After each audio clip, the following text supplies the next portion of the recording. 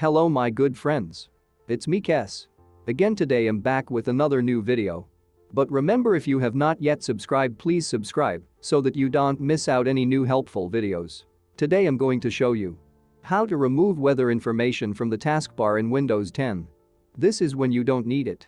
So let me show you these simple steps. As you can see, a lot of people that use Windows 10 they see this kind of information on the taskbar. This is because Air Computer downloaded some updates from the internet. So let me show you how to remove it. First right-click on your taskbar. Then up here choose and select News and Interests. Then this side select Turn Off.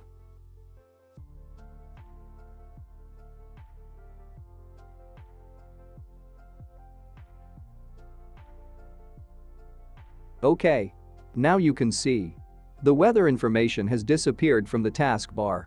So that's the only quick way to remove it. Let me show you another way to change it. Again right-click on the taskbar. This time choose Show Icon only. Here you can see how it looks now. Instead of displaying lot of information on the taskbar, it just show the icon of which it's good. If you want to show the default one just repeat the same process.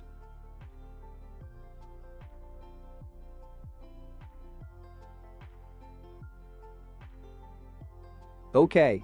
Since that the video is about to remove it, I have to select turn off. And it will disappear from the taskbar.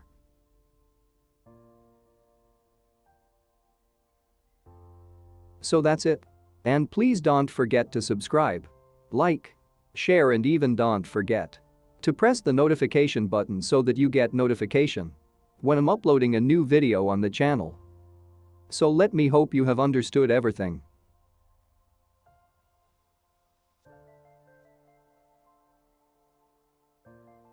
Then thank you for watching we meet in another next video.